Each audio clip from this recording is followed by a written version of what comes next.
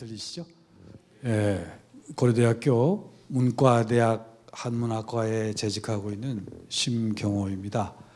오늘 제가 말씀드릴 내용은 어, 선인들의 공부법이라고 하는 주제를 통해서 결국 우리 시대에 공부를 어떻게 해야 될 것인가 하는 문제를 같이 생각해 보고자 합니다. 어, 우리가 공부라고 하는 말을 참 어렸을 때부터 많이 사용하고 있습니다. 아, 뭐 공부에 정말로 주눅이 들은 음, 사람도 있고 또 일생 공부를 해야 한다는 것에 대해서 어, 상당히 어떤 말할 수 없는 그런 어떤 뭐라 그럴까요? 어떤 압박감 같은 것도 느끼는 것이 사실입니다. 저도 그렇습니다. 매일매일 많은 책을 보고 많은 글을 쓰는데도 모르는 것이 많습니다. 점점 더 몰라지는 것 같아요. 모르게 되는 것 같아요. 자, 우리 공부라고 하는 말을 쉽게 사용하고 있습니다만, 우리가 한자를 사용하는 지역을 동아시아 문화권이라고 우리 쪽에서 이렇게 얘기를 합니다. 근데 이 공부라고 하는 말이 한자인 건 다 아시죠?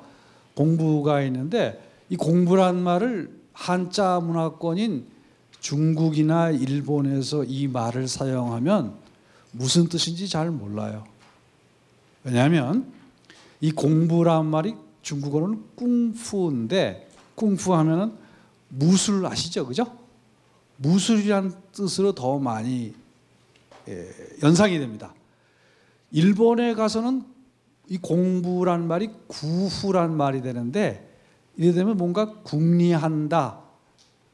어떤 것 꾀를 부린다. 이런 뜻으로 사용되지 우리가 생각하는 스타디란 뜻으로 생각되질 않아요.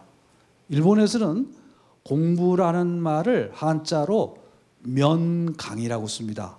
힘쓸 면자, 힘쓸 강자. 그래서 뱅교라 그래, 뱅교.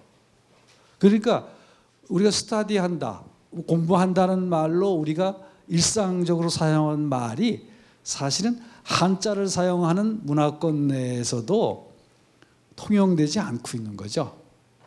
근데 우리는 공부를 하고 있어요. 그죠? 이 공부라는 말이 우리에게 일상화되어 있는 이유는 이것이 남송 때의 대철학자인 주자, 주이죠. 원래 이름은 주인데 높여서 주자라고 합니다. 주자의 에, 어록들을 모은 것을 주자어류라 그래요. 이것은 정통 한문과는 달리 남송시대의 구어를 즉 백화를 반영한 문체입니다. 그래서 한문하는 사람도 읽기가 어려워요.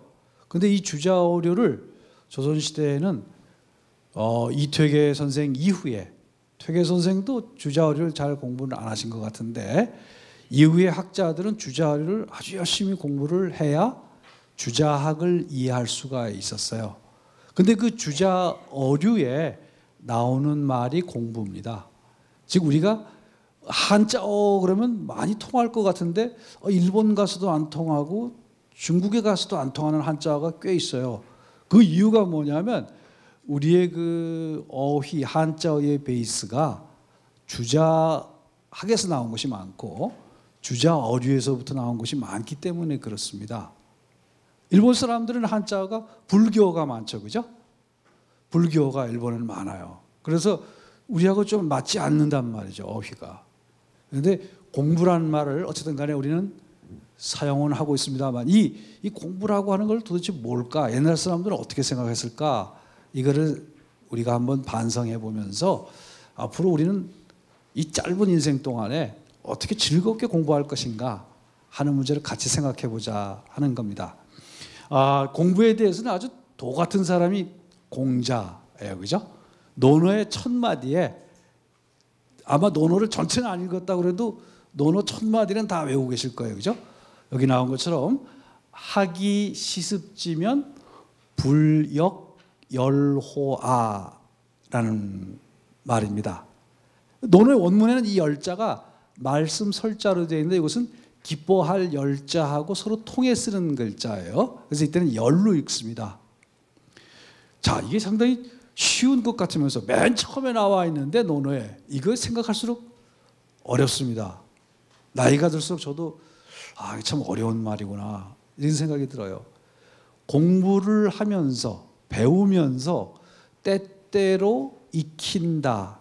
그러면 기쁘지 않겠는가라는 뜻이에요.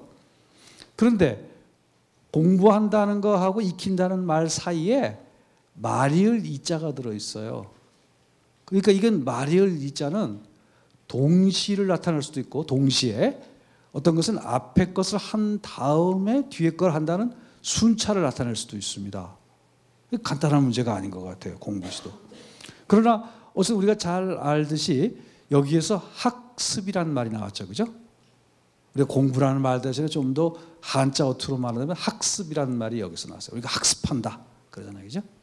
근데 이 예전 사람들은 이것을 특히 주자학을 하는 분들은 이것을 해석할 때 학이라고 하는 것은 뭐냐?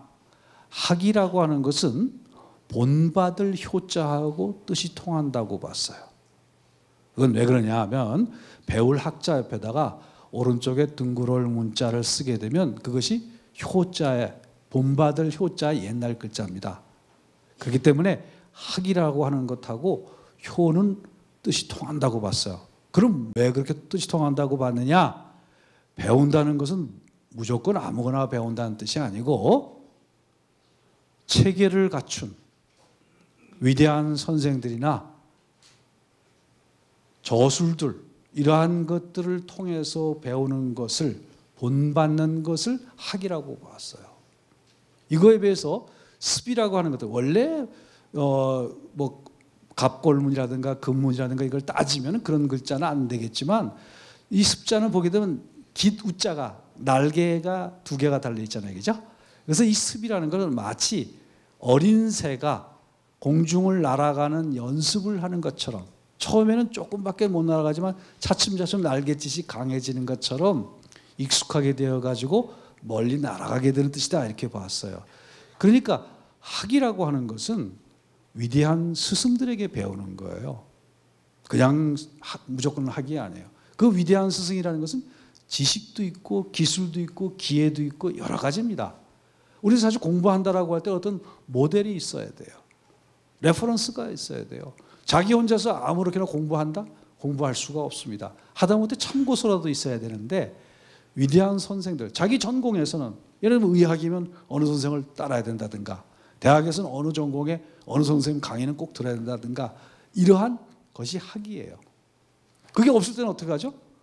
그 스승이 지금 살아있지 않을 때는 사숙을 해야 돼요. 그죠? 사숙이라는 말이 있죠. 돌아가신 분을 스승으로 삼는 것을 사숙이라 그래요. 예를, 우리 예를 들어서 공자를 사숙한다. 이 말 되겠죠. 소크라테스를 사숙한다. 가능한 겁니다. 그때 우리가 공부한다 할 때 반드시 어떤 이름들을 거론한다는 것은 그 사람들이 우리보다 앞서서 위대한 체계를 세웠기 때문이에요. 위대한 언서를 남겼기 때문이에요. 무언가 기술을 남겼기 때문이에요. 코마네치라는 체조 요정이 있음으로 해가지고 거기서 발전해서 이 체조의 기법이 발달하지 않습니까? 이와 같은 것이 학이라는 겁니다. 습이라고 하는 것은 그 배운 것을 계속 자기화하는 그를 주자학자들의 어려운 말로 하기면 체득하는 거예요. 나의 것으로 삼는 겁니다. 제가 오늘 이렇게 강의를 하고 있지만 저는 어디서 배웠을까요? 저희 선생님들이 강의하고 강연하는 모습에서 배웠어요. 자기 혼자서 갑자기 나오는 게 아니에요. 저는 어, 제 모습 속에는 제가 존경하는 선생님들 혹은 싫어했지만 사실 마음속으로 따랐던 어떤 선생들의 모습이 나한테 있어요. 그것이 없으면 안돼 아마 이 강의를 듣는 여러분들도 다음번에 강의할 땐 제가 쓰는 제스처를 흉내내기도 하고 아니면은 표정을 흉내낼지도 몰라요. 제가 아는 후배 중에는 모 대학의 교수는 어떤 한 선생님을 너무 좋아하다 보니까 그 선생님이 말씀하실 때 입을 약간 찡그리면서 말씀을 하시는데 그 모습까지 그대로 흉내를 내고 있어요. 아주 짝퉁과 같이. 우린 그렇게 배우는 거예요, 사실은. 그게 학이라는 겁니다. 그리고 그것을 겉모습만이 아니라 내 내면에 나의 것으로 만든 것이 습이다라고 볼 수가 있다는 겁니다. 이렇다고 한다면 학습이란 말은 쉬운 말이 아니죠, 사실은. 간단한 말이 아닙니다. 자, 근데 기쁘다라고 했습니다. 저는 사실 이 기쁨이라는 게 있어야 돼요. 공부라는 게 기쁨이 있어야죠. 새로운 것에 대한 도전, 흥미, 이런 것들이 있어서 거기서 기쁨을 느껴야 공부를 하는 거지. 이거를 일하라고 한다면 못 할 것 같아요. 제가 지금 생각하면 오늘 강연을 하면 뭐 강연료가 얼마기 때문에 한다? 그러면 안할 것 같아요. 아무것도 없지만 내 즐거움을 여러분들하고 같이 만날 수 있다는 그런 가능성 때문에 나온 것이죠. 그리고 그것이 끊임없이 공부를 하게 하는 하나의 원동력입니다. 이것을 아마도 하기 시지 부력 여로하라는 말은 논어의 첫 마디에 나와 있지만 공자의 전기를 쓰는 현대 연구자들이나 논어를 연구하는 사람들은 이것은 공자의 거의 만년의 사상이었을 것이다 라고 얘기합니다. 그렇게 쉬운 말이 아니라는 거죠. 스스로 공부해보고 스스로 어떤 것을 발전시켜 본 사람만이 할 수 있는 말이라는 겁니다. 저는 그런 면에서 이 논어의 구절을 너무나 좋아하고 그러면서도 아직까지 도달하지 못했구나라는 생각을 늘 하게 되는 겁니다. 자, 그런데 우리가 학문이라고 쓰는 말이죠. 좀 어렵게. 학습이란 말도 있지만 학문이라는 말이 있어요. 그죠? 근데 이 학문이라는 말은 어디에서 왔느냐? 사실은 중용이라고 하는 아주 어려운 철학책에서 나온 말이라고 생각이 돼요. 현대 중국어 사전에 아주 유명한 중국어라기보다는 한자 어휘 사전입니다. 고문을 읽기 위한 아주 중요한 책이 1989년에 초판된 한어 대사전이라는 게 있어요. 12권이라 되는 책이 있어요. 아주 거질의 중요한 책입니다. 지금 물론 이것을 다 CD로 돼 가지고 12권을 벌려놓고 보지는 않습니다만은 아주 굉장히 2 30년 걸려 가지고 중국에서 만든 중요한 사전입니다. 일본의 모로아시 사전과 이것이 필적된 아주 중요한 사전이에요. 근데 거기에서는 학문이라 말을 한번 들춰보게 되면 이것의 가장 빠른 어원을 주역에서 찾고 있어요. 주역. 근데 주역에서 뭐라고 하냐? 여기 나온 것처럼 주역의 이제 건괴를 설명하는 옛날에는 공자가 지었다라고 하는데 오늘날 뭐 공자 꼭 했다고는 보진 않습니다. 그 문헌전이라고 하는 본괴의 설명을 해주는 부분에 이런 말에서 군자는 배워서 지식을 모으고 물어서 분별하며 너그러움으로써 거쳐하고 인으로 실행한다 이렇게 되 됐습니다. 그래서 학이 취지 문이 변지란 말에서 학과 문이라는 글자가 되어서 학문이 나왔다는 거죠. 여기서 주역에서 얘기하는 것은 모은다라고 하는 것을 전준 점에 굉장히 우리가 주목해야 될 것 같아요. 지식이란 건 뭐냐? 단순하게 A라는 사항을 아는 게 지식이 아니죠. 우리는 다양한 것들을 A, B, C, D 이런 것들을 어쩌면 에서는 같은 부류에 속하는 것을 다양하게 알아야 될 필요도 있고 A하고 전혀 다른 범주가 다른 알파에 있는 것도 배워야 돼요. 그래서 취재할 수다는건 중요하겠어요. 오늘 여러분들 여기 나오신 분들은 취하려는 학문의 자세를 갖춘 분들이에요. 내 분야에 있는 것만 안다는 것이 아니라 우리가 인간 삶을 이해하기 위해서 공부를 하기 위해서는 많은 것들을 알아요. 제가 요새 아주 골머리를 썩고 있는 분야가 있어요. 천문학이에요. 천문학을 공부하느라고 아주 지금 머리가 빠져요. 이미 머리가 많이 빠졌습니다. 아침에라도 보고 그러는데 고등학교 때 지학을 제대로 우린 지 지학이라는 과목이 있었어요. 과학에 지구과학이죠. 근데 지학 과목을 입학 시험 공부하는 걸로만 생각해서 아주 암기하느라고 지겹게 공부를 했는데 바로 그 지학을 모르면 한문학을 할 수가 없어요. 자연과학의 사상이 없으면 인문과학을 알 수 없다고 흔히 얘기합니다만 특히 한문은 더 그래요. 왜? 상서 서경이라고 하는 고전을 보게 되면 첫 번째가 제왕이 할 일 중에 달력을 만드는 얘기부터 시작해요. 그럼 거기 황도가 어떻다 뭐 이런 걸 막 해야 되는데 지금 이 나이가 돼서 그 고전을 많이 공부했다고 생각을 했는데도 전혀 그게 무슨 소리인지 잘 못 알아듣겠어요. 그래서 갈 때마다 이 천문학에 관한 책들을 많이 사다 보니까 니담, 조셉 니담이라고 하는 조지프 니담이라고 하죠. 영국에서 어, 중국의 과학과 운명이라는 사람 그 총서를 했던 분의 책부터 시작해 가지고 일본 사람, 중국 사람, 한국 사람이 쓴 책들에서 과학에 관한 책이 제 책상에 한 가득이에요. 그래도 잘 이해를 못하겠어요. 제대로 기본 개념을 배우지 않았어. 근데 저는 오늘 말씀드린 것은 사실은 모든 걸 하다가 보면은 이 문학에서 출발하던 자연과학에서 출발한 어떤 범위 내 것들을 꼭 알아야 될 것들이 있단 말이죠. 이것들을 취합해야 돼요. 지식이라는 것. 한쪽만 알면 된다. 나는 한문학을 하니까 한문만 해독하면 된다. 천만의 말씀입니다. 할 수가 없어요. 다른 분야도 아마 다 그러한 고민들을 할 거예요. 인간이라는 게 그렇습니다. 모든 걸 알아야 되네요. 그런데 그뿐만 아니라 이걸 단순하게 모은다라고 하는 공부만 하면 뭐가 되느냐면 하 초록하는 학문이 돼요. 초록이라는 건 베끼는 거. 여기에서 무슨 내용이 있었다. 여기서 무슨 내용이 있다. 예전에 저희 어렸을 때 그런 공부를 많이 했잖아요. 그죠?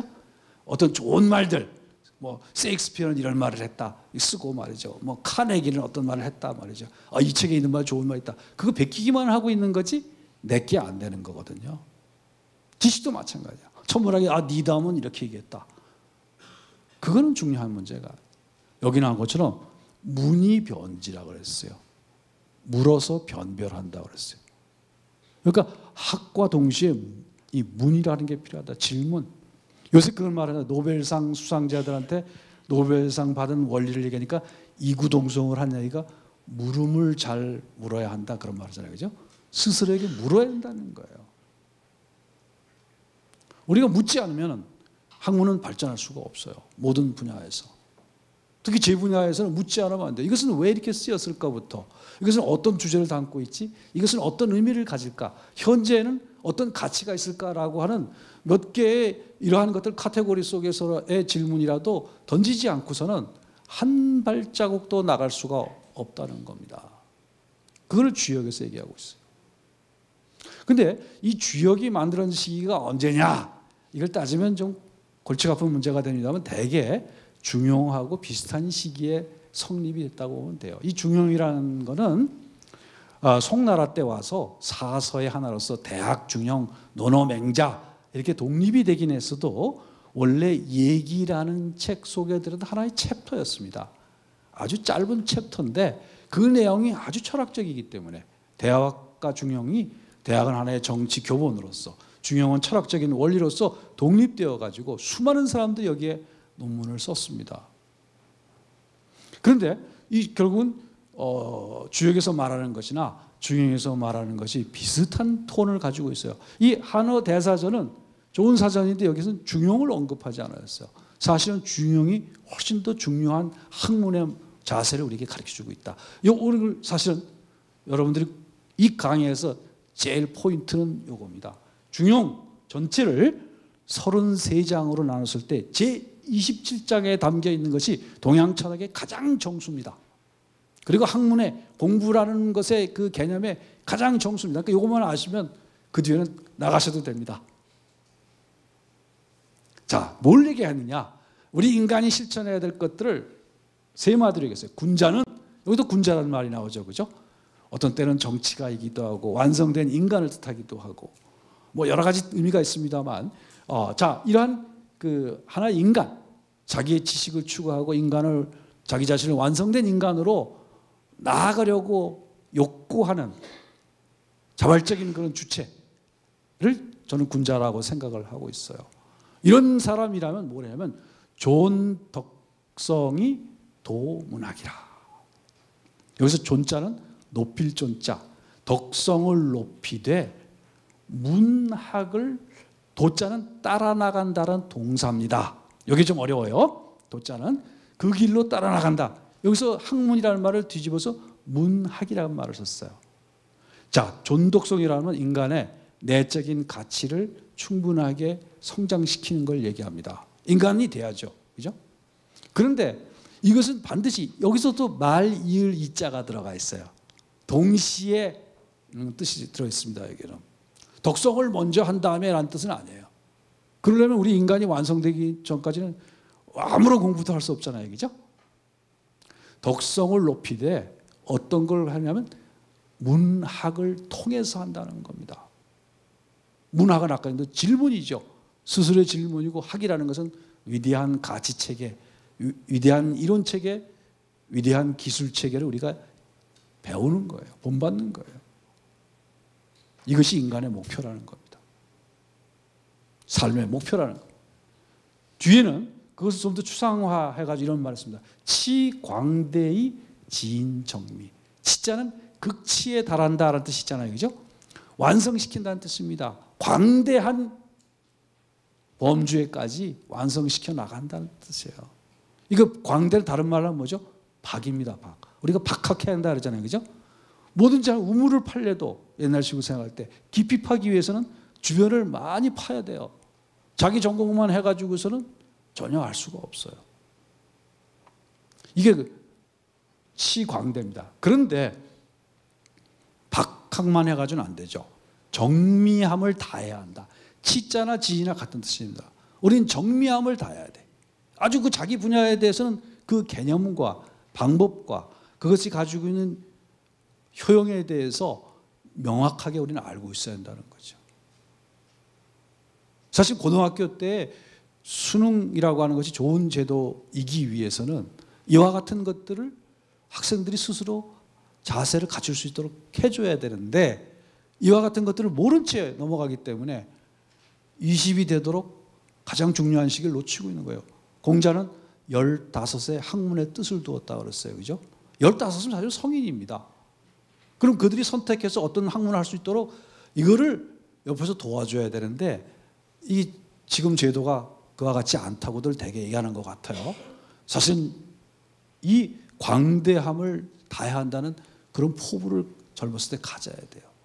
그러면서 자기 하나의 필드, 내가 특별한 사람, 나는 어, 수학에 굉장히 뛰어나다든가, 어, 나는 좀 철학적인 사회에 뛰어나다든가, 문학에 뛰어나다든가 이런 걸 선택을 해서 자기 분야를 정밀하게 들어가게끔 해야 한다 이겁니다. 인간이 다 완성할 수가 없기 때문에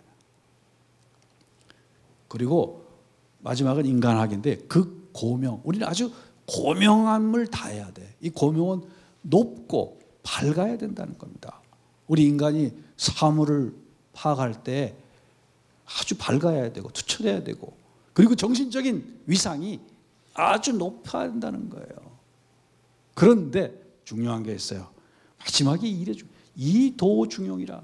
도자는 또 나왔죠? 중용을 따라 나가야 한다. 이 중용은 이때는 우리의 일상의 삶입니다. 이게 아주 중요한 겁니다. 우리가 고명한 존재가 된다 그래서 아주 높은 지식을 그리고 아주 인간의 완성을 다한다 그래서 저 산골 속에 들어가서 나 혼자만이 산다는 것은 안 된다는 거예요. 우리의 삶 속에서 자기가 맡은 직분을 해나가면서 나는 할 수 없이 강단에 서야 되는 것이고 여러분들은 또 각자의 직업을 가지고 있잖아요. 그죠? 자기의 직분을. 그 직분에서 이 고명을 실천해야 되는 거예요. 이것이 사실 중국 철학이 가지고 있는 강점이자 동양 철학이 가지고 있는 가장 중요한 태제입니다. 우리가 자기 자신을 완성하는 것은 내가 서 있는 here and now 바로 여기 이 순간을 떠나서 이룰 수가 없는 거예요. 그렇기 때문에 그 뒤에 보면 중국의 유명한 철학자 근세 철학자 현대 철학자 중에 풍우란 사람이 풍 우란이라고 하는 학자가 1990년에 돌아가셨습니다. 이게 홍요란이란 중국 발음인데요. 북경대학의 교수를 했어요. 정말로 위대한 학자. 저는 대학 때 이분 책을 어, 좀 몰래 읽었어요. 그 당시엔 좀 마르크스주의 이분이 빠지기도 했었기 때문에 이런 책을 함부로 읽을 수가 없었어요. 대학원 때는 좀 더 자유롭게 읽어댔는데 이분은 책을 읽으면서 내가 이분과 같은 나이가 되면 자 거액 한 95세까지 살았잖아요. 그죠? 이분과 같은 나이가 되면 나도 이분이 가지고 있는 철학 체계는 뛰어넘을 수 있겠지 생각을 했어요. 근데 제가 아직 그 나이는 되지 않았지만 좀 불가능할 것 같은 생각이 들어요. 너무 제가 허접하게 공부를 했어요. 이분이 뭐라고 했냐?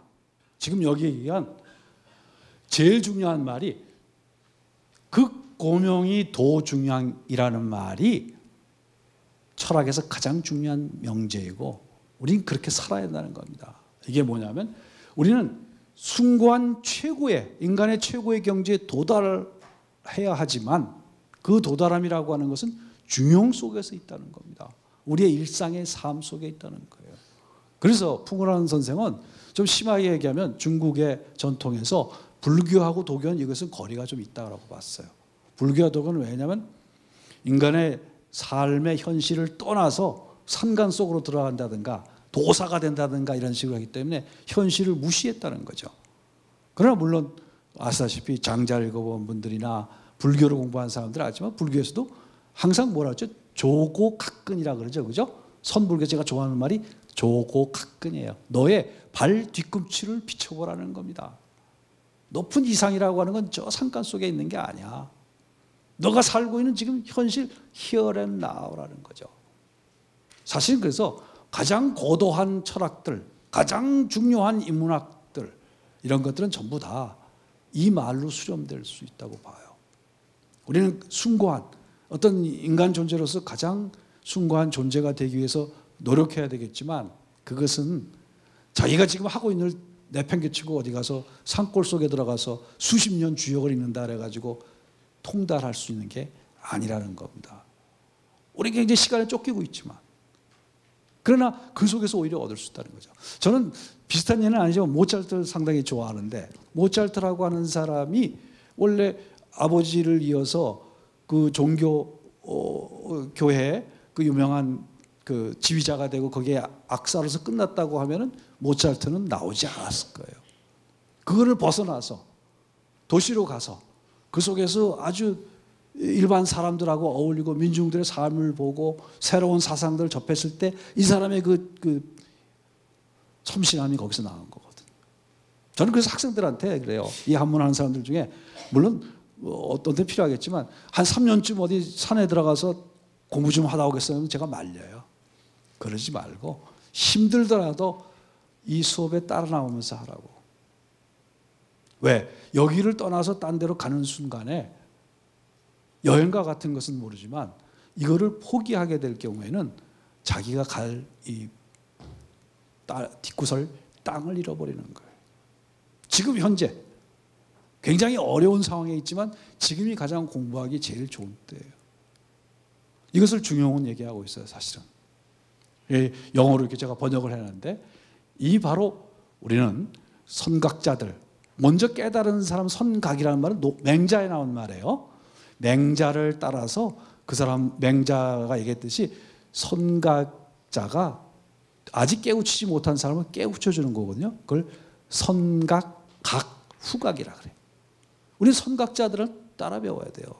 그 사람들 눈에 있는 사람이면 당연히 그 사람들한테 가서 배워야 되는 거고 그 사람이 돌아갔을 때그 사람의 책이라든가 그 사람이 남긴 물건을 통해서 그림을 통해서라도 우리는 배워야 되는 거죠. 배우려고 하는 것에 대해서 두려워하면 안 돼요. 이것을 우리는 중용을 통해서 학문에 대해서 어, 생각해 볼 수 있다는 겁니다. 그럼 공부의 태도는 어떤 것이냐라는 것을 옛날 사람들이 분류한 걸 잠깐 보면서 어, 우리 스스로 공부가 어디에 속하는가 한번 생각해 보기로 하죠. 옛날에 공부를 분류하는 방법 중에 여러 가지가 있는데 좀 랑크가 다른 분류법에 따른 겁니다. 근데 A 분리법은 제일 중요한 분리법은 위기지학이냐 위인지학이냐라는 두 개의 분류법이 있어요. 논맹에서부터 출발하는 겁니다. 이때 위기지학이라는 것은 자기를 위하는 학문이에요. 이 자기를 위한다는 건 이기적인 학문이 아니에요. 아까 극고명, 존덕성하는 학문이죠. 말하자면 내 내면을 충실히 하는 학문이 위기지학이에요. 위기의 학문이다 이런 얘기예요. 데 이것의 반대로 나쁜 학문이 위인지학이에요. 그냥 번역하면 위인지학이 더 좋은 것 같잖아요. 그죠? 만인들을 위한 남들을 위한 학문인데 남들을 위한 학문이란 건 남들을 위해서 봉사하는 학문이라 뜻이 아니에요. 남들에게 보이기 위한 학문이라 뜻이에요. 어떤 학문이죠? 돈 벌기 위해서 명예를 추구하기 위해서 하는 학문들. 그것은 긍정적인 학문이 아니라는 거예요. 그래서 예전 사람들은 항상 내 공부가 과연 내 내면을 살찌는, 살찌우는, 내 영혼을 살찌우는 공부냐. 단순하게 이걸 그냥 밥 벌어먹고 살기 위해서 어쩔 수 없이 해야 되는 학문이냐라는 것을 늘 반성했다 이겁니다. 어쩔 수 없이 하는 강요된 학문에서는 즐거움이 있을 수가 없죠. 그죠? 그래서 이게 첫 번째. 우리는 어떤 공부를 해야 되느냐. 내가 전공을 하고 있지만, 아, 내가 대학원 가기 위해서 공부는 이렇게 하고 있지만, 이 공부라는 게 위기지하게 통해야 된다. 이런 얘기예요. 그거하고 일치시키지 않으면 불행한 사람이야. 평생 공부해도 무슨 재미인지 알 수가 없어. 제가 좋아하는 프랑스의 철학자 중에 가스동 마슐라르라는 사람이 있어요. 좀 생소할지 모르겠는데 과학하고 시, 즉 과학적인 사유와 어, 문학적인 상상력을 결합시킨 아주 위대한 프랑스 학자입니다. 이 사람은 아주 집이 가난해가지고서 정규 학교도 나오지 않았어요. 방송을 통해가지고 고등학교 과정도 마치고 대학 과정도 마쳐야 됐어요. 그렇지만 40대 이후에는 누구보다도 가장 뛰어난 학자가 되었고 소르보느 대학의 교수도 됐고 나중에 프랑스에서 훈장까지 받은 70이까지 학문을 했어요. 이 사람은 그 40대까지 뭘 했느냐? 그 학위 과정이나 이런 것을 방송으로 따고도 어려워서 우체국에서 직원으로 한 10여 년 일했고 그 다음에 아주 시골 학교의 교사로서 한 일하는 것도 한 10여 년 돼요. 그, 그 사람 즐거웠기 때문에 한 거죠. 근데 지금은 아주 좋은 대학에 이렇게 들어와 있는 학생들도 보면 마지못해 하는 학생들이 있어요. 그건 안 돼. 그거 불행한 일이에요. 다른 사람 수많은 사람들하고 경쟁을 해가지고 그 사람들 밀치고 들어왔으면 책임을 지고 해야 될 텐데 책임을 안 지고 있어. 그럼 조용히 스스로 자퇴하고 딴 사람을 위해서 자리를 마련해 주는 것도 우리는 생각해 봐야 되지 않겠나. 제 혼자 이렇게 생각을 하고 있어요. 여기 온 사람들은 안 그러겠지만 가끔 가다 보면 어, 왜 공부해야 되는지 하는 목적 의식이 없는 사람들이 있어. 위기지약. 자기 학문과 내 삶을 일치시키는 학문을 해야 되겠다. 자, 그리고 조선시대나 어, 중국의 학문이나 이런 걸 보게 되면 많이 나오는 중에 이와 같은 여러 가지 랑크가 있는데 의리지학이라고 하는 것은 여기서 의리라는 건 무슨 깡패의 의리가 아닙니다. 인간이 살아가야 될 그 도리를 추구하는 학문. 이것을 예전엔 가장 높은 철학이라고 생각했어요. 그 성리학이 그런 거였죠. 원래는 그런데 이 의리지약을 하는 사람들 중에는 간혹 가다가 의리라는 것이 결국은 자기가 체득을 하고 자기가 실천하는 학문이 돼야 되는데 이런 것들도 공수한 관념이 된단 말이에요. 그래서 그걸 약간 그걸 비판하고 나온 학문이 전내 실기지약이에요. 전내는 내 내면을 온전히 하고 오로지 하고 그리고 자기 자신을 아주 충실하게 하는 학문. 이게 바로 진정한 위기지약이라는 거죠. 근데 그거보다 밑에 못한 것들이 있어요. 훈고지약이라는 건 뭐냐면 아, 이 글자가 이 글자가 옛날에는 무슨 글자였고 이 그 뜻은 뭐였고 이거 각주 달다가 많은 학문이 훈고지약이에요그 다음에 장구지약이라는 것은 그 대학이라든가 장구, 중용 장구와 같이 돼 있는데 어떤 문단의 뜻은 뭔가 이런 걸 갖다 따지는 학문인데 훈고지약하고 비슷한 뜻으로 쓰이죠. 실제로 해야 되는 제, 자기 내면의 생명하고 연결된 학문이 아니라 지식으로서 하는 공부를 보통 훈고지학, 장구지학이라 그래요. 그 다음에 더 나쁜 게 기송지학, 기문지학 같은 말인데 암기하는 학문입니다. 요새 제 걱정이 그거예요. 고등학교 내는 과정에서 암기하는 학문을 너무 해서는 안 되는데. 근데 옛날 분들도 과거 공부하는 사람들인 가 보면 그냥 맨날 죽자살 자고 암기만 하다 끝나는 거예요. 자기는 뭐 논어를 갖다가 수십 번 읽어가지고 한 글자도 틀리지 않게 외웠다는다. 그런데 남긴 것이 별로 없어요. 그런 사람들. 외우는 것 자체의 목적을 두었기 때문이죠. 그런 공부를 하실 필요 없어요. 인간의 기억력이 한계가 있습니다. 저도 이렇게 보면요.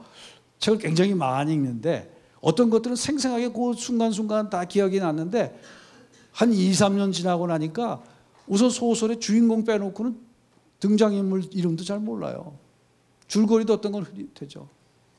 어떤 영화는 야 그 집에서 가족이 이렇게 보고 있어서 참 신기하다 재밌다 해서 보다 보니까 어제 본 것 같아. 본 건데 또 보고 있어. 그게 인간이라고 생각돼요. 근데 기송자 이 가능하겠습니까? 평생 외워도 우리는 다 외울 수가 없어요. 근데 문장 지역이라는 것은 이건 뭐냐 글쓰기 위한 학문. 글재간 부리기 위한 학문입니다. 이것도 역시 좋은 건 아니죠. 그 다음에 과거지학. 그래 과거 공부하기 위한 학문. 대학 입시를 위한 그 자체만을 위한 학문. 대학 입시를 하면서도 즐거움을 느끼고 자기 진리를 찾으려고 하는 목적의식이 있다면 그거는 해야 되겠죠. 근데 그렇지 않고 만일 어쩔 수 없이 강요적으로 한다 그러면 그것은 불행한 학문이에요. 그 다음에 오늘날 이 문학이 저는 이 구이지학으로 전락되지 않을까 걱정하고 있어요. 이 구이지학이라는 건 뭐냐 하면 귀로 들은 구라는 건 입이잖아요. 그죠? 이는 귀고요. 귀로 들은 말을 그저 입으로 남한테 자랑하기 위해서 나온 상식 자랑하는 학문을 구이지학이라 그래요.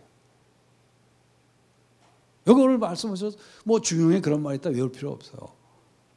그리고 그것으로 아 내가 이 강의를 들었다라고 자랑하실 필요도 없어요. 내 것이 아니라면. 근데 여러분들은 다 이 강의에 오신 분들은 어떤 목표를 가지고 있을 거라고 생각해요. 올바른 공부라는 걸 나는 하고 싶다. 단 한순간만이라도 이런 목표를 가졌을 때는 구의지학을 포기하세요. 잊어버려도 좋아요. 아, 중용에 있었다, 주역에 있었다 그런 말 필요가 없어요. 자기 영혼에, 영혼의 그 진정한 떨림이 없다면 공부는 해나갈 수가 없어요. 그 다음에 우리가 잘하는 건 성리학. 이건 좀 더 철학적으로 인간의 본성과 우주의 이치와의 관계를 따지는 게 성리학이죠. 그 다음 또 보면 아, 내용에서 보게 되면 양명학. 그 양명학은 뭐냐면 성리학이라는 게 너무 인간의 본성을 뭐 어, 본연지성하고 기질성으 나눠가지고 인간을 이분법으로 생각한다든가 이런 것들이 너무 관념이 아니냐. 인간은 타고날 때부터 누구나 예를 들어서 효 같은 것들은 가르키지 않아도 다 하는 거 아니냐 말이야. 그러면 자기 안에 마음속에 있는 양지, 양능을 개발하면 그걸로 된다 이거죠. 오히려 우리는 공부를 많이 했기 때문에 다른 관념에, 관습에, 인습에 이런 거에 휘둘리고 있다는 거죠. 양명한 그것을 떨쳐버리라는 겁니다. 우리, 어, 우리가 허균이라든가 이런 사람들 영향을 많이 주는 학문이죠. 제가 제일 좋아하는 게 양명학입니다만.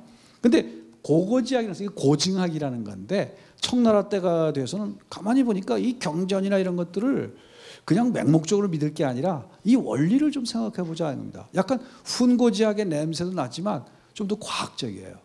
이것이 오늘날의 실증주의 학문에 연결되었다라고 보면 됩니다. 비판하는 사람들도 있어요. 청나라 의 정부에 대해서 비판할 수 있는 지식인들을 마비시키기 위해서 이런 자살, 자잘자잘한 걸 시켰다라고 하는 사람도 있는데 저는 그렇게 보지는 않아요. 이거 뭐냐면 오늘날의 언어학, 문자학, 그 다음에 의미론 이런 것들이 이 고고지학이에요. 우리나라에서 이것을 굉장히 중요시했던 사람이 정조하고 다산정약용 같은 사람들이에요. 모든 학문에 그러한 확실한 기반이 있어야 한단 말이죠. 그러려면 분석이 필요해. 과거와 같이 그저 어, 이거 누, 누가 얘기했기 때문에 올바르다. 주자가 얘기했기 올바르가 아니라 이것은 어떠한 언어 구조로 되어 있고 이것은 어떠한 의미 구조로 되어 있고 하는 것들을 명확하게 분석을 한 위에 착실한 기반 위에 자기 사상을 쌓아야 되겠다라고 노력한 사람들이 바로 그런 사람들이에요. 조선 후기에 좀 나온 거죠. 이분들의 사실은 위대한 정통을 우리는 계승할 필요가 있는 거예요. 바로 거기서 좀 약간 그것을 비꼴 때 명물 도수지학이라 합니다. 어떤 사물의 이름들이라든가 숫자 관계를 따진다든가 이런 걸 명물도수지학이라 그래요. 자, 근데 이 고고지학과 명물도수지학에서 쓰고 있는 방법이 소학이에요, 소학. 소학이라고 하는 것은 대학의 반대말이죠. 위대한 학문, 큰 학문이 아니고 짜잘짜잘한 학문이다라는 뜻으로 겸손하게 말하는 건데요. 이게 매우 중요한 학문이에요. 아까 말한 것처럼 언어학, 음문학, 훈고학, 오늘날에 그 목록학, 문헌학 같은 것들이죠. 우리가 어, 모든 지식을 전달해주고 있는 여러 가지 매체들에 대해서 그것들을 분석해 들어가는 학문이 소학이에요. 그래서 이걸 서양 사람들은 아주 이걸 중요시해가지고 이것을 영어로 필롤로지라고 문헌학이라고 규정하고 있어요. 아마 여러분 잘 아는 프랑스의 그푸코라든 사람 이런 사람들은 이 동양 전통에서 는이 소학을 가지고 자기 철학 체계를 만들어낸 사람이라고 볼 수 있어요. 이 소학의 방법론을 가지고. 근데 우리나라에서 소학이라고 하면 아마 사자소학이나 이런 걸 한자 공부하신 분들이 있을 거예요. 근데 사자소학은 약간 좀 달라요. 소학이 두 가지 개념이 있어. 하나는 뭐냐면 어린아이들의 그 예절교육과 같은 그런 공부들이에요. 그거를 쇠소응대지절이라고 해서 마당에다가 먼지 안 나게 물 뿌리면서 그걸 길쓸고 아니면 손님들이 왔을 때는 아주 공손하게 대답하고 응대하고 하는 걸 가리키는 공부다라고 해서 쇠소응대제라는 소학이 있어요. 근데 대개 우리나라에서는 소학하면 그걸로 알려져 있어요. 그러나 그게 아니고 보편적으로 소학이라는 것은 기초학문이에요. 결국은 우리 지식이라는 건 언어와 문자와 어떤 매체를 통해서 전달되는 거기 때문에 이러한 것들이 구성이 어떻게 되어 있는 것을 분석해 들어가는 기초 도구학이 소학인 거죠. 그러니까 이것을 잘 활용한 사람이 조선시대에도 위대한 학자예요. 소학이라는 말을 사용하지 않았지만 이걸 가장 잘 사용한 사람이 퇴계 이황이에요. 퇴계 이황은 여러 그 언해, 우리나라의 현토 이런 것들을 전부 대조해서 여기서는 고가 맞는지 가가 맞는지 어떻게 보면 시시해보는 그게 아니라 그것이야말로 원래의 컨텍스트를 명확하게 잡을 수 있는 것이기 때문에 그와 같은 학문을 한 거예요. 그러니까 그런 것을 기초학을 한 사람들만이 다산도 마찬가지고 정조도 그렇고 위대한 학문을 남길 수가 있었어요. 그래서 이것은 굉장히 강조하고 싶으나그 다음에 잡학이라는 거. 우리가 수학이라든가 옛날에는 이 법학이라든가 이런 걸좀 잡학이라고 봤죠. 그럼 현대 관점에서 볼 때면 이 잡학이야말로 중요합니다. 의술 이런 건다 중요해요. 실용학으로서. 자 이렇게 분류가 있다는 걸 생각하고 여러분들이라면 어떤 공부를 하겠는가 하는 걸 좀 생각해 보시면 좋겠습니다. 자 논어에는 그런데 모든 어떤 공부든 간에 통용되는 가장 중요한 공부 방법을 제시한 게 있습니다. 제가 논어 전체에서 늘 논문을 쓰거나 이렇게 할 때 좌절을 하거나 그럴 때 생각하는 구절이 이 논어의 바로 수리편에 있는 아, 불분 불비라는 장과 위정장에 있는 바로 지금 읽으려고 하는 부분입니다. 특히 위정장은 중요해요. 뒤에 있는 수리장에는 불분불비라고 하는 것은 조금 교육자 입장에서 어떻게 해야 될 것인가. 피교육자라면 어떻게 했을까. 이걸 생각을 해야 될 장이라면 지금 말씀드린 이 장은 꼭 알아두셨으면 좋겠어요. 아까 중용하고 똑같이 뭐냐. 학이불사 즉 망하고 사이불학 즉 퇴락했어요. 여기서 중요한 키워드가 학이란 말하고 연결시킨 게 사, 생각할 사자예요. 근데 또 말이을 이자로 이었죠. 그죠? 생, 공부를 하면서 생각을 하지 않으면 헷갈린다는 겁니다. 핵이, 그 학이라는 건 뭐냐면 이미 기존의 체계를 갖춘 어떤 기술, 지혜, 지식이 되겠죠. 그죠? 이것들에 대해서 우리는 따라 배워야 돼요. 근데 따라 배우는 것만은 안 된다는 거예요. 내 스스로 생각해야 된다. 다시 말하면 스스로 질문을 던지는 게 사라고 볼 수 있죠. 그죠? 자기 스스로 생각하지 않으면 안 돼. 아, 이것은 어떤 뜻일까? 아주 작은 데서부터 이것은 어떤 의미를 가질까라는 거대한 담론에까지 스스로 생각을 해야 돼요. 그렇지 않으면 헷갈린다는 거예요.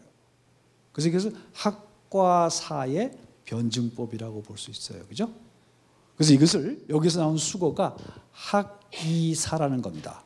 그래서 옛날 사람들은 자기 공부방에다 학이사를 크게 써붙인 사람이 많았어. 공부만 하는 게 아니라 공부하면서 생각한다는 거예요. 공부만 해서는 안 돼요. 자기 스스로 생각을 해야 돼요. 왜 이것은 여기에 적절한 이게 원리일까? 어떤 방법일까를 생각을 해야 돼. 근데 학생들이 되게 공부 안 하는 게 뭐냐면 공부는 잘해. 학은 잘하는데 사에 약해. 아까 말씀드린 노벨상 수상자들이 한 말 빌자면 한국의 노벨상이 잘 안 난 이유는 사가 약하다는 거예요. 사가. 우리 수많은 영어나 독일어나 뭐 불안서까지 해가지고 외국 문물에 정말로 정확하게 전달을 하고 있는데 자기 스스로 그걸 못 만들어내고 있다는 거예요. 사의 훈련이 없어요. 사. 질문에 자기 질문에 훈련이 안 돼 있다는 거예요. 아까 주역으로 따지면 또 여기서 말씀 사이불학직태라 그랬어요. 생각만 하고 공부를 안 하면 위태롭다 그랬어요. 어떤 사람들은 이렇죠. 위대한 게 뭐가 있어? 다 옛날 사람들 말은 다 그냥 다 껍질이고 다 찝죽정에 불과한데 내가 스스로 생각하지 위대한 체계를 만들지 이런 사람들이 있어요, 그죠? 그러면서 공부 안 하는 사람들이 있어. 이거는 세상을 위태롭게 만든다는 거. 자기 자신도 위태롭게 만들지만 세상을 위태롭게 만들어. 혹세무민하는 거죠. 그죠? 그래서 학과 사라고 하는 것을 늘 같이 생각을 해야 된다. 자, 넘어가 볼까요?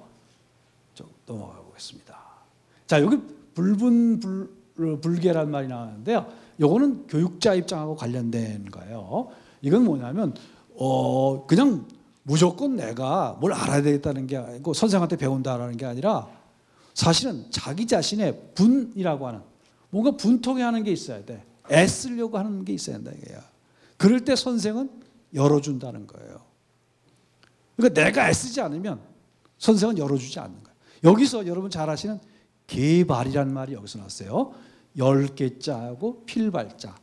개발이라는 건 교육자가 피격자 교육받는 사람들을 위해서 이 사람들을 인도하는 방법이 개입 발이에요. 그런데 저 사람이 교육받는 사람이 아무런 목적 의식도 없고 잠만 쿨쿨 자고 있는데 이 사람한테 주입시켜주는 법은 없다는 겁니다. 본인 자신이 내발적으로 내가 무엇인가를 더 알아야 되겠다고 애쓰고 근데 뭔가 아는 것 같긴 한데 그것을 아직 형체화하지 못할 때에 그것을 열어주고 펴주는 것이 개발이에요. 노는 상들 무서운 책이에요. 그래서 공자하면 어디 가나 저는 외국에 나가면 공자의 초상이 어떻게 되어 있느냐 그 다음에 입상이 어떻게 조각되어 있냐 늘 사진을 찍고 또 보고 그래요. 어떤 공자는 좀 졸린 듯한 공자도 있고 어떤 건 무시무시하고 다 그런데 이런 걸 보게 되면 다 공통되는 것은 어느 나라나 공통되는 것은 만세 사표라 그래요. 그죠? 이 우주가 끝날 때까지 영원한 스승이다. 공자를 이렇게 얘기하고 있는데 그러면 공자는 아주 친절한 사람이었느냐? 학생들이 원하지도 않는데 우선은 물가에 데려가주는 그게 아니에요. 여기 무서운 말이 이거죠. 스스로가 공부를 하려고 하는 사람들이 내발적인 자발성이 없을 때는 가르쳐 줄 수가 없다는 겁니다. 이 점을 주의해야 될 것 같아요. 자, 그 자발성이라는 건 중요했다는 겁니다. 더 넘어갈까요? 자, 그럼 우리가 학문을 요새 통섭이라는 얘기를 참 많이 하죠. 그죠? 근데 통섭만큼 어려운 점이 없습니다. 저도 통섭하고 싶어요. 아까 말씀드린 것처럼 제가 제일 죽을 때까지 쓰고 싶은 책이 한문학과 자연과학이에요. 근데 그러려면 자연과학의 원리에 대해서 많이 알아야 되잖아요, 공부를. 어려워요. 자연과학 하시는 분도 마찬가지일 거예요. 아, 동양 철학까지 아울러서 철학을 하나 완성을 해야 되겠다. 그럼 한문도 읽어야 될 거 아니에요, 그죠? 번역만 가지고는 할 수 없으니까.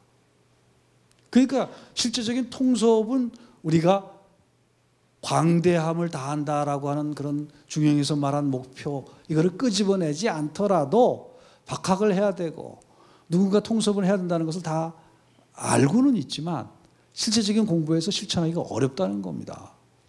저는 어, 젊어서는 대학 때 제가 법도 공부 안 하고 경제도 공부하자 말하자면 그런 것들을 어, 취직하는 용으로 생각을 해서 공부를 하지 않은 것을 자랑스럽게 생각을 해왔었어요.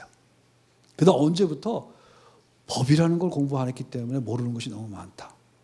경제 원리를 공부 안 해가지고 정말로 안 되는 것이 너무 많다.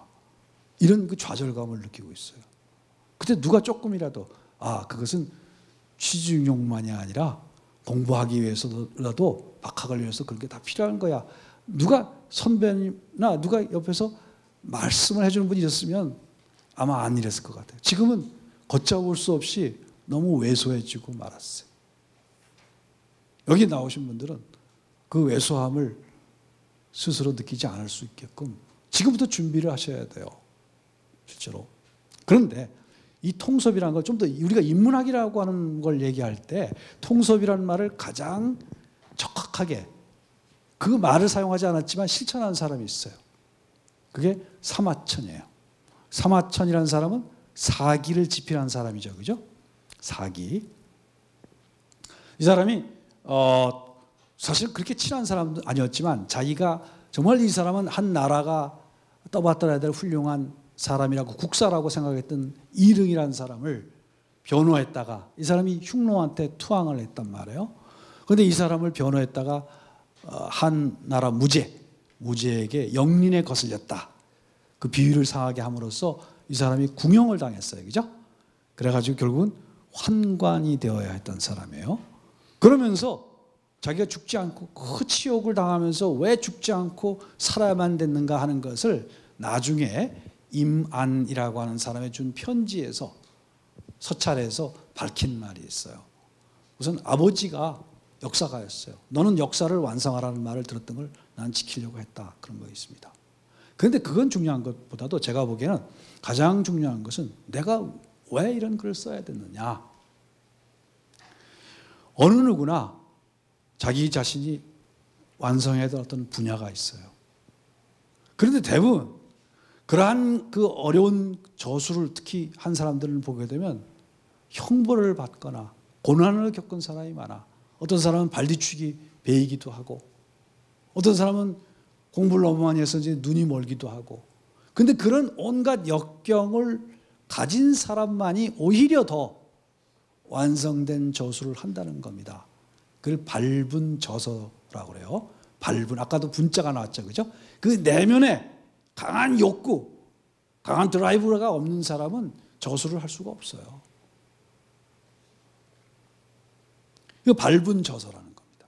그 나도 이러한 그 무참한 지경에 있으면서도 내가 왜 죽지 않았냐? 이 수모를 겪고 뭐 했느냐? 난 하나의 역사를 통해서 뭔가를 인간의 삶을 제대로 보고 싶었기 때문에 난 살아남아야 됐다는 거죠. 그래서 이것을 완성시키고자 한다는 뜻을 밝힌 거예요. 그런데 여기서 역사란 걸 뭐냐라고 하는 말을 세 마디로 얘기했습니다. 저 올라가 볼까요? 거기 보면은 그 다음 페이지에 제가 보면은 거기에 사진이 하나 들어가 있죠. 중국의 우표입니다. 요 우표가 아주 중요해요. 제가 아마 2000년 무렵인가 중국 사람부터 받은 우표에 이것이 있는 걸 보고 깜짝 놀랐어요. 어, 중국이란 나라가 사실 2000년대까지만 해도 죄송한 얘기지만 우리보다 경제적으로 좀 어, 안정되지도 못하고 사회도 여러 가지가 민주화나 이런 것들도 여러 가지가 문제가 있다라고 해서 중국이라는 나라가 쉽게 이렇게 우리나라를 능가하진 못할 것이다. 국가적인 뭐 여러 가지 면에서 생각을 했는데 제가 이 우표를 보는 순간에 아 우리나라가 중국한테 졌다 생각했어요. 왜? 여기에 있는 게 바로 사마천이 사기를 집필하는 모습, 을 캐리커처처럼 그린 겁니다. 이 고전을 이렇게 이용할수 있다는 이 힘이라고 하는 게 도대체 어떻게 나온 거냐. 더군다나 사마천이 얘기한 가장 중요한 세 마디를 여기다 썼어요. 한번 읽어보실까요? 구 천인지제 통 고금지변 성일가지연 이게 바로 인문학의 정수를 다 아울러서 한 가장 최고의 걸작입니다. 이걸 뛰어넘을 수가 없어요. 우리 인문학을 대개 뭐냐면 요새 3분과라 그래서 문사철이라 그러죠. 그죠? 문학, 사학, 철학의 세 분야로 있다 그래요. 그런데 바로 사마천이 쓴 사기라고 하는 것은 그것의 종합이지 단순한 역사서가 아니라는 겁니다. 자기가 밝혔어요. 뭐라고? 구천인지 이제 구자는 궁구하다, 연구하다 이런 뜻이에요. 무엇을 연구하냐면 천인지제. 제라는 것은 끝이라는 뜻인데 이 끝이라는 말은 딴것 요것과 A와 B라는 물체의 관계를 뜻해요. 그죠? 우리가 국제간이다라는 말 있잖아요. 국제간. 나라와 나라 사이란 뜻이에요. 제가. 그 천인지자란 말은 하늘과 인간의 관계라는 겁니다. 하늘과 인간의 관계를 구명하겠다. 겁니다. 왜? 우리를 뛰어넘는 어떤 그게 우주 법칙일 수도 있고 신일 수도 있고 이런 것들이 있는데 이것이 인간 역사에 어떻게 개입을 하고 그것은 실질적으로 의미가 있느냐 없느냐 이것에 되묻겠다는 거예요. 만일의 경우 역사라고 하는 게 신이라는 것이 인간의 시시콜콜한 모든 일까지 다 규제하거나 도움을 준다면 착하게 사는 사람들은 오래 살고 부자로 살아야 될 것 같은데 백이숙제 같은 사람은 자기 이념을 지키다가 고사리 캐다가 굶어 죽고 말았다는 말이에요. 그럼 도대체 신이란 건 있는 것인가? 천도란 건 존재하는가? 이 문제를 사계에서 묻는 거거든요. 전체 인간들이 그래요. 인간이란 건 분명히 인간대 인간의 좋은 우호적인 관계 속에서 사회를 이룬다고 말하지만 많은 우정들이 배신당하고 있잖아요. 그죠? 지났던 친구들이 나를 배신하잖아요.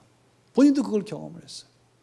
그러면 그러한 것들에 도대체 신의 섭리, 절대자의 섭리라는 건 있느냐 없느냐 따지는 게 구천지제요. 이게 철학이에요, 철학. 먼저 철학이다는 겁니다.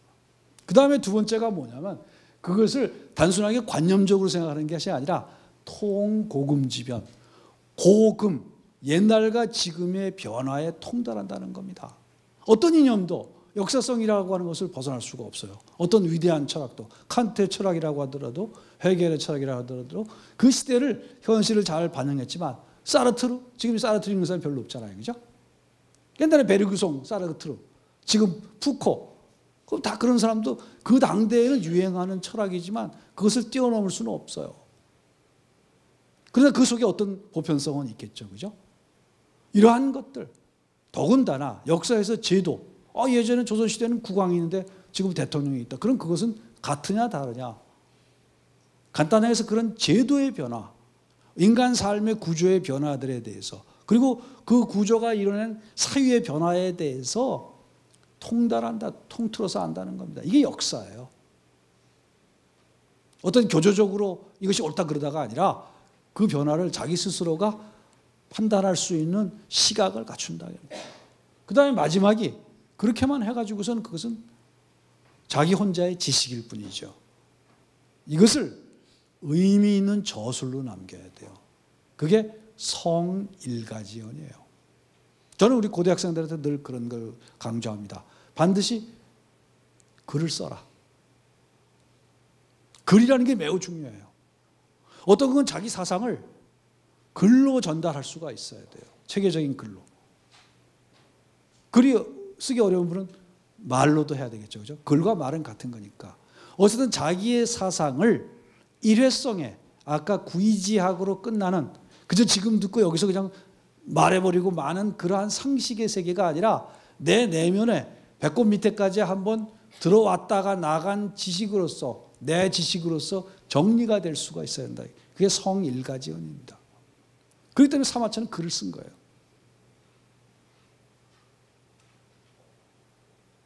이게 바로 문학이죠. 그럼 어떻게 글을 써야 되니? 글쓰기가 바로 문학이라. 그러니까 여기서 바로 철학, 역사, 문학의 종합이 역사서인 사기 속에 녹아 있다는 거예요. 그 사기는 소설을 하는 사람도 지금도 모델이 되고 연암 박지원 같은 경우는 사기를 공부했기 때문에 그 문학이 뛰어났던 거란 말이에요. 이럴 수 있다는 게 고전이라는 거죠. 고전이. 근데 그거를 바로 지금부터 얼마 전입니까? BC 98년에 어, 이 되게 그 많은 집필이 이루어졌다고 생각하면 지금부터 몇 년 전이에요. 기원 전 100년입니다. 이 사람 활동했던 게. 근데 가장 현대적으로 얘기하고 있어요. 지금 우리가 실천해야 될 통합, 통합. 통속, 이게 먼저 이겁니다. 우리가 왜 공부하느냐? 구, 천인지제. 통, 고금지변. 그리고 그것을 성, 일가지연. 저는 어른들한테도 그런 얘기를 드립니다. 어른들 공부하신 분도, 어, 인문학 강좌 나오신 분들도 자서전을 쓰시라고 제가. 그것도 하나의 일가지연입니다. 후손들이 아 이분이 고민했던 것의 흔적을 조금만이라도 이해할 수 있게끔 자서전을 쓰세요. 학생들은 물론 말할 것도 없이 자기 분야의 이론적인 글들을 써야 돼요. 훈련을 해야 돼요. 장문이라는 게 매우 중요합니다. 사유와 장문이라는 건 아주 밀접한 관련이 있다는 것을 이 사기는 얘기하고 있어요. 근데 저는 이것을 우표되시는 걸 보고 그리고 이 사기가 가지고 있는 가장 에센스를 여기다가 실은 걸 보고 와, 중국이란 나라가 고전을 가장 정수해서 이해하고 그래서 현대화하는 작업에 들어갔구나라는 충격을 받았어요. 자기 고전에 대해서 거기서 어떤 에센스를 뽑아내지 못한다면 그것은 발전이라고 볼 수가 없겠죠. 근데 중국 그것을 2000년대 실행하기 시작했다는 겁니다. 자, 또 볼까요? 그러면 이, 이 한문학에 대해서는 제가 하는 분야에 대해서 말씀드린다면 통합을 한다면 넓은 의의 미 학문학은 지금 얘기하는 것처럼 문학, 사학, 철학을 종합하는 학문이어야 돼요. 좁은 의미는 한자 한문으로 된 문학만을 얘기하겠죠. 근데 옛날 사람들은 좁은 의미의 서양적인 그런 좁은 의미의 문학이라는 건 없었어요. 늘 기록도 있었고 어, 역사하고도 넘, 넘나듦이 있었고 철학하고 넘나듦이 있었고 거기에 기초학이라는 것이 아까 말씀드린 그런 소학이다. 그러니까 이러한 모든 학문은 어떤 체계가 있어요. 무조건 한자 공, 한문 공부한다 해서 되는 것이 아니라 바로 이러한 어떠한 범주를 우리가 가지고 생각을 해야 공부하듯이 여러분들이 하는 학문에 그것이 의학이든 법학이든 어떤 범주와 개념들이 있을 겁니다. 이런 것들에 대해서 명확하게 파악을 하지 않는다면 공부는 도로가 되겠죠. 쓸데없는 그리고 괴로운 일이 되겠죠. 자, 예, 여기 넘어가서요. 그럼 과거의 사람들 그러면 공부를 진짜 한 사람들 예를 한번 들겠습니다. 더 넘어가 볼까요? 거기 넘어가서 정약용은 이렇게 얘기했습니다. 공부란 건 뭐냐? 학자는 하야, 학야자는 각야를 깨우침이다 그랬어요. 깨우침. 학이라는 발음하고 깨우칠 각이 비슷하잖아요. 그죠? 공부는 깨우침이라 그랬어요. 아원각비라는 책을 저술하면서 이건 오늘날 보면은 어원설 같은 거를 정리해 놓은 책이에요. 그러면서 문화론이에요. 나는 보면 우리나라의 옛 고전 중에서 언어 문화론 언어학과 문화를 결합한 가장 위대한 책이 아흔각비 같아요. 근데 거기서 공부는 뭐냐면 깨우침이라고 그어요 잘못된 걸 깨우치는 거다 이런 얘기예요. 우리가 알고 있다고 생각하는 평상시에 상식으로서 지식으로 알고 있다는 많은 개념들이 먼저 잘못돼 있다는 것을 깨달음에서부터 출발한다는 거예요. 그래서 아원각비를 썼어요. 대단한 의식을 가진 사람이죠. 넘어갈까요? 또 한 사람 우리가 든다면 어, 자, 김만중 같은 사람은 서포만필, 우리나라의 수필집에서 몽테뉴의 버금가는 어, 뭐 버금간다는 것보단 서구의 몽테뉴가 있던 우리나라의 가장 회의적인 정신과 이런 것들을 글로서 표현한 한문이어서 불행한데 제가 번역을 완전하게 하는 게 있습니다. 이것이 가장 중요한 철학책이에요. 근데 여기서 무슨 얘기냐면 우리나라의 당시에 성리학자들 뭐 이런 그 공부한다 철학 공부하는 사람 있는데 자기 맥을 안 짚어본다. 이런 얘기예요. 의술을 공부하는 사람들이 의학책은 막 들여다보면서 어디에는 무슨 맥이 있고 무슨 맥이 있고 이렇게 말을 하면서 진짜로 자기 맥을 짚어서 어디에 어느 맥이 있다는 것을 경험적으로 알지 못하는 거예요. 그래서 안 맥을 하라 그랬어요. 자기 맥을 짚어보라 이거예요. 내 공부가 어디가 부족한가? 그리고 이것은 내게 어떤 살가움이 있는가를 짚어보라는 겁니다. 굉장히 중요한 거예요. 그 다음에 두 번째는 뭐냐 하면 양존. 예를 들어서 어떤 하나의 설에 대해서 어떤 하나의 사건이나 어떤 사실에 대해서 A도 있고 B 설도 있어요. 그죠? 그런데 현재 증거로 봐서는 A가 옳은지 B가 옳은지 결정나지 못하 때가 있어요. 이때는 두 가지를 다 보존해 두라는 거예요. 이거는 오랜 사실은 한학의 전통에서 나온 건데 그걸 잘 활용한 사람이 김만중이었어요.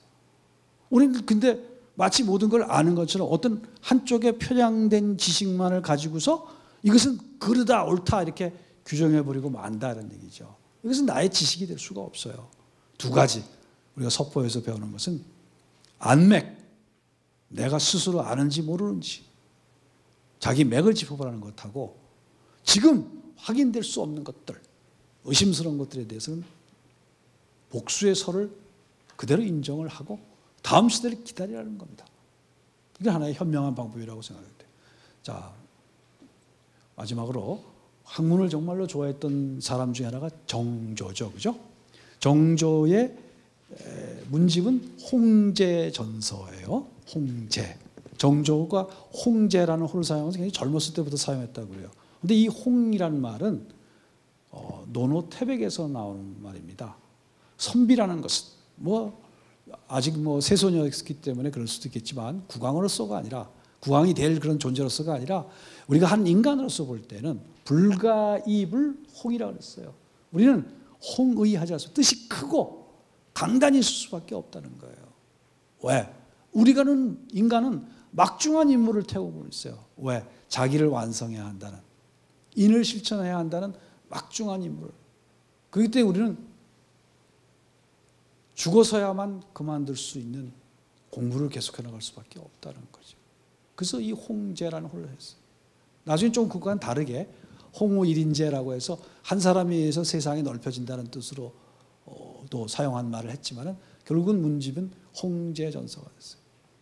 이때 자기 문집을 엮을 때 정조대왕의 나이가 48살이었어요. 정조는 48, 만으로 49에 돌아가셨어요. 그 위대한 일들을 그렇게 많이 한 사람도 49에 들어가 있어요. 근데 왜 그때 자기 문집을 엮을? 이때 미리 죽음을 알았기 때문에 엮은 건 아니에요. 우리 전통적으로 동양 사회에서는 49이라는 수를 매우 중요시합니다. 왜 그러냐면 그 거백옥이라는 사람이 춘추 시대에 있었는데 원래 이름은 거원이라는 사람인데 이 사람은 늘 자기 자신을 반성해서 지금이 바로 나의 그 전환기라고 생각을 했어요. 그래서 이사에 남긴 것 중 유명한 말이 나이 50이 돼서 지난 49년의 잘못을 깨달았다는 거예요. 근데 장자에서는 다른 말로 나와요. 이 사람이 60이 될 동안에 60번 변화했다는 말이 나와요. 그러니까 유학자거나 노장학을 하는 사람에거나 거벽은 매우 중요한 인물로서 나오는데 그것은 뭐냐면 자기의 현실에 안주하지 않고 끊임없이 자기 자신을 변화시킨 인물로 나오는 거예요. 그래서 이태백도 49살에 도관에 가가지고 자기 자신을 돌아보는 시를 씁니다. 우리나라의 주세봉이라는 학자도 청량산에 올라가요. 그래 자기 인생을 되돌아봐요. 퇴계는 이 나이에 되었을 때 단양군수 뭐 이런 군수를 팽개치고 도산서원도 들어가요. 그런 전환기가 있어요. 꼭 49이 아니더라도 인생의 전환기입니다. 젊은 사람들한테는 지금이 4학년이 전환기일 수도 있고 나이 많은 사람들한테는 60이 퇴직할 때가 전환기일 수도 있어요. 저도 지금이 전환기예요. 근데 그러한 것들을 모른 채 그 시각을 엄벙덤벙 지나갔을 때는 자기를 혁신시킬 수 있는 기회를 잃어버린다는 거죠. 정조는 아마 더 오래 살았으면 매번 문집을 다시 가냥하면서 자기 삶을 되돌아봤을 텐데 불행하게도 문집을 스스로 엮은 다음 해 죽고 말았어요. 공부를 너무 많이 해서 사실 죽었어요. 제가 보기에는.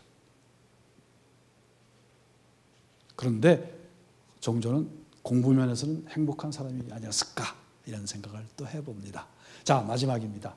아 공부의 시기 언제냐 이런 것들을 잘 묻는 사람들. 아까 제가 서구 철학자, 불란서 철학자인 가스통 바슐라르라는 사람을 얘기를 했어요. 공부의 시기는 없습니다. 진정한 내 자신의 공부를 하는 시기라고 하는 건 바로 지금 순간이다 하는 겁니다. 자, 여기 뒤에 보게 되면요. 춘추시대 때 한 일화가 있는데요. 혹시 한자 성어에 병촉지명이라는 말을 아시는지 모르겠어요. 촛불의 밝음이라는 뜻인데요. 좀거기 볼까요? 뒤에. 거기는 없습니까? 병촉지명이라고 했는데요. 어, 중국에 여러분들 이 페이지에 한번 같이 보시면 좋을 것 같아요. 어, 페이지에 26쪽하고 27쪽에 그 이야기를 제가 써 놓았습니다. 여기 보게 되면요. 27쪽에 어, 예, 더 마지막에 있네요. 설원이라고 하는 유향이라는 사람이 편찬한 한, 어, 한나라 때 편찬한 책인데요. 이 고전에 병촉지명이라는 고사가 있습니다. 병촉 이런 건 촛불의 밝음이란 뜻이죠. 자루병자 촛불촉자 갈지자 밝음명입니다. 촛불의 밝음이다 이렇게 번역을 하면 좋을 것 같은데 이 시기에는 아마 촛불이 그렇게 많지 않았을 거예요. 초라고 하는 거는 파라핀으로 만들어야 되잖아요. 그죠? 그러니까 이 시기에 있는 것은 촉이라고 해도 관솔불 같은 거라고 생각하면 돼요. 등잔불 같은 거라고 생각해 주시면 좋겠어요. 근데 어, 여기 보게 되면 나이가 70살 된 춘추시대 진나라 때 양, 아, 평공이라고 하는 군주가 있었습니다. 나이가 70이 됐는데 인생이 갑자기 좀 허망해진 것 같아요. 내 인생은 과연 이 정치에서는 성공했는지 모르지만 내 삶에 어떤 의미가 있을까 이런 것을 생각을 했어요. 그래서 어, 음악을 담당하는 신하였던 사광이라는 사람한테 물었습니다. 아, 내 나이가 70살이 되어서 이제는 이제 배우기에 너무 늦은 것이 아닐까? 이렇게 질문했던 거죠. 그랬더니 사광이 뜬금없이 이런 말을 했어요. 아, 왜 촛불을 밝히고, 말하자면 등잔불을 밝히고 공부를 하지 않았습니까? 전혀 선문답 같은 엉뚱한 답변이죠. 그죠? 지금 나이가 들어서 공부를 할 수 있을지 모르니까 책을 더 읽을지 모르겠다. 기력도 세하고 이런 얘기인데 아, 촛불을 밝히고 말하자면 관솔불 등잔불을 밝히고 왜 공부를 안 하십니까? 이런 얘기를 여기서 병적지 명이라는 말을 했어요. 그래서 이 평공이 화가 나서 자기 신하에게 너 지금 나를 놀리려고 그러는 거 아니야? 하고 했던 거죠. 그러자 이런 말을 했습니다. 사광이 어려서 배우기 좋아하는 것은 해가 뜰 무렵에 햇빛을 받으면서 공부하는 것과 같다는 겁니다. 조명이 환하다는 얘기죠. 그리고 성장해서 배우기 좋아하고 공부하는 것은 정오의 햇볕을 받는 것과 같다 입니다. 이것은 정점에 있지만 언젠가는 기운다는 뜻이죠. 그죠? 언젠가는 기운다는 거예요. 여러분들 지금 특히 그 대학생들은 이걸 생각을 많이 해야 돼요. 정점이 있다는 걸 생각을 해야 돼요. 이게 언제까지 계속되지 않아요. 그리고 늙어서 배우기 좋아하는 것은 가까스로 관솔불, 등잔불의 빛을 밝히면서 공부하는 것과 마찬가지다. 꺼질 것 같은 불. 그런데 우리는 공부할 수밖에 없다는 절박함이 있다는 거예요. 여기에서 병척지 명이라고 나왔습니다. 그런데 어둠이 되었는데 그 등잔불마저 밝히지 않는다면 길은 어둡게 되고 말죠. 그죠? 그 작은 불이라도 비치는 심경으로 해라. 라는 겁니다. 이것은 정말 우리가 공부의 시기라는 것은 없다고 생각해요.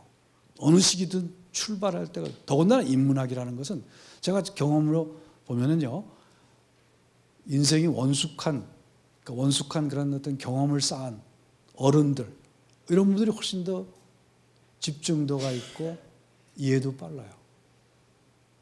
아까 말씀드린 것이 논어에 나왔느냐, 중형에 나왔냐, 주역에 나왔느냐 하는 그런 외우는 데서는 조금 떨어질지 모르지만 그 이해를 명확하게 하고 개념을 명확히 잡으면 훨씬 빨라요. 이것은 왜 그러느냐? 목적의식이기 때문이겠죠. 그죠? 이 공부라는 게 즐겁기 때문이겠죠. 저는 사실 인문학의 정신을 젊은 사람도 그것을 미리 그걸 깨우쳐야 된다고 생각해요. 시간은 우리를 기다려주지 않기 때문에. 이런 얘기입니다. 제가 좋아하는 그 일본 작가이긴 한데 시오노 나나미라는 사람이 있죠. 그죠? 그 사람이 한때 로마인 이야기니 뭐 이런 걸 써가지고 굉장히 그어 많이 베스트셀러를 하고 그랬어요. 저는 그, 그 사람 만난 적이 없습니다.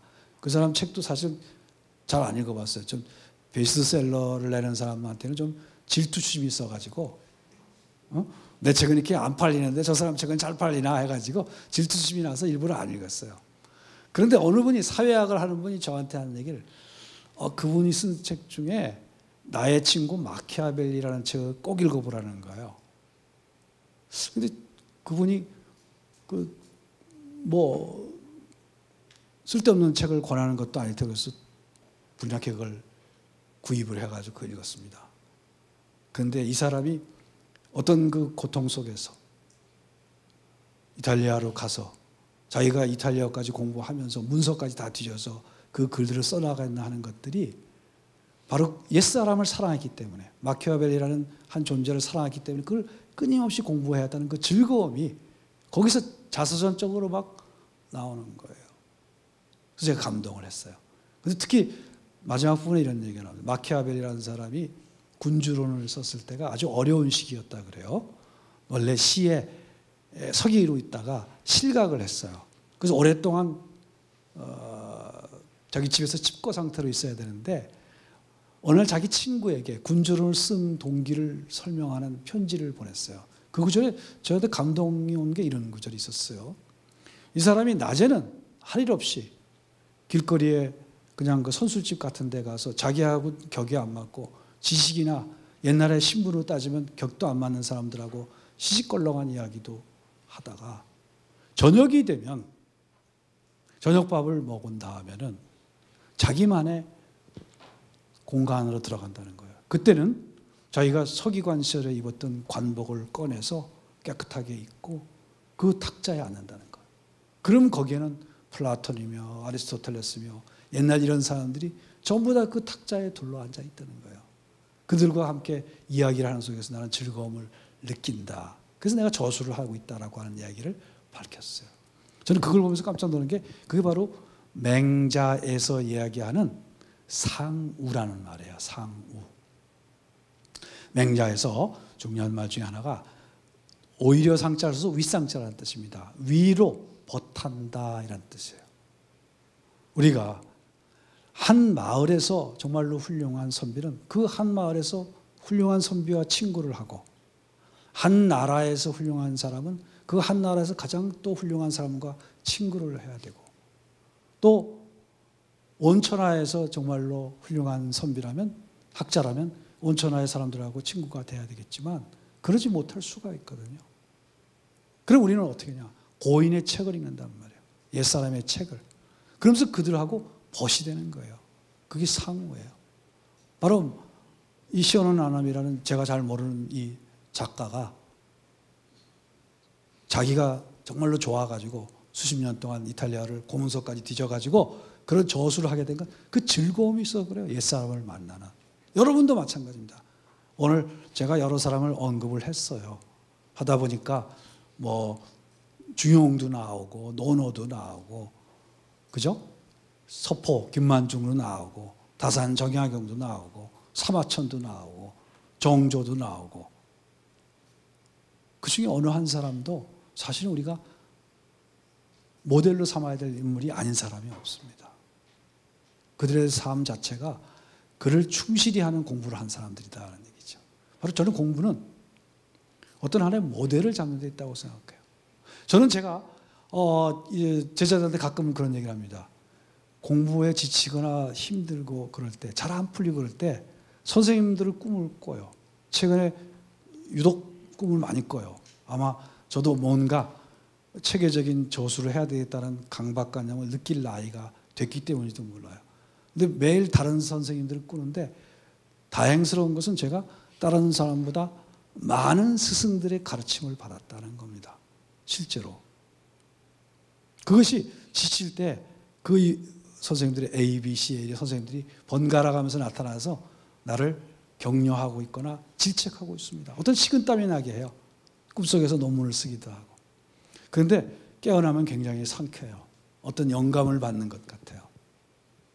저는 여러분들한테도 반드시 공부라고 하는 것은 고인이든 현재 살아있는 분이든 여러분들의 마음속의 스승을 꼭 찾아야 한다고 생각해요. 학문하는 가장 중요한 부분 학습입니다. 학이라고 하는 것은 본 만든 데 있어요. 여러분들이 가장 뛰어나다고 생각하는 체계를 그 선생님을 통해서 혹은 어떤 저수를 통해서 본받으려고 하는 각오를 하지 않으면 후회합니다. 공부가 도로, 도로가 될 거라고 생각이 돼요. 그리고 나서 그걸 습, 익혀야 되는 것이고, 사, 생각해야 되는 것이고, 문, 스스로에게 질문을 던져야 한다는 것. 이것들이 오늘 제가 말씀드리는 선인들의 공부법이자 우리가 앞으로 해나가야 될 공부법이라고 생각이 됩니다. 오늘 제 강의는 이것으로 마치겠습니다. 감사합니다.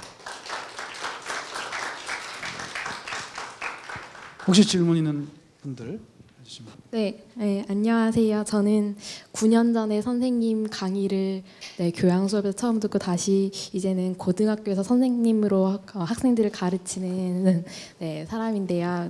어, 지금 고등학생들을 가르치고 있다 보면은 참 가르치기 어렵다라는 느낌을 많이 받거든요. 그 학생들에게 제가 만약에 선인들의 공부법에 관해 가지고 단 한마디 딱 어떻게 공부해라라고 딱 한마디로만 정의를 내린다라면 어떻게 공부하라고 추천해 드릴 수 있을까요?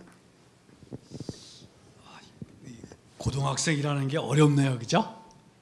근데 저는 역시 논어에서 말한 학이사라는 걸 쓰고 아이고, 그 학생들한테 스스로 생각해 보게 하는 게 좋을 것요 학이사.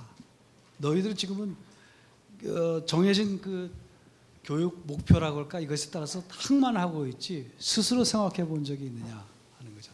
저도 어, 교과서를 한문 쪽이지만 집필을 해, 봤고 하고 있는데 참 어려운 게 탐구 활동이라는 거 있잖아요, 그죠? 근데 그런 게 스스로 생각할 수 있는 기회를 줄 수 있으면 좋은데 어떤 때보 그게 좀 너무 그것 자체도 조직화된 그런 경우가 많다는 거죠. 그래서 더나 현장에 계신 선생님이 더 어려울 거라고 생각되는데 아이들한테 저는 학습 교실에는 학위사를 딱 써놓으면 좋을 것 같아요. 학위사. 아, 근데 이게 선생님이시니까 제게 제가 예, 국문학을 하고 그러면서 철학을 부전공을 하고 전공은 제가 지금 한문학을 하고 있는데 서로 통한다고 생각합니다만 저한테 영향을 가장 많이 끼친 선생님이 중학교 1학년 때 선생님이었어요. 고등학교 때 아, 실명을 해도 좀 모르겠는데 자꾸 하셨으니까 이분이 한문하고 국어를 가르쳤었는데 그때 한문에 모순이란 말을 가르치셨어요. 모순. 모순이란 말이 한자가 어렵잖아요. 그죠? 방패 모자에다가 아저저창 모자에다 방패 숫자 그죠? 한미자에 나온 말이죠. 모든 것을 다 뚫을 수 있는 창과 이것을 파는 사람 그리고 그 사람이 또 모든 것을 다 막아낼 수 있는 방패를 판단 말이에 그랬더니 어떤 사람이 그럼 그 창으로 그 방패를 찔렀을 때 어떻게 되느냐? 라고 해서 대답을 못한 게 모순이란 말의 어원이에요.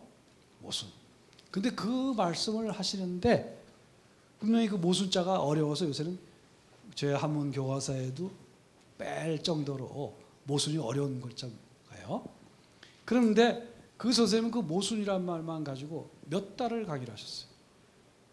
오늘날 같으면 입시 위주나 이런 데서 생각하지 못하는 거기서부터 이 고전들에 대한 이야기들을 그 책이 나온 문맥은 어떤 것이며 그래서 이것은 현재 교육하고는 맞지 않지만 저는 적어도 선생님들이 모두 다 구원하기는 어려울 것 같아요.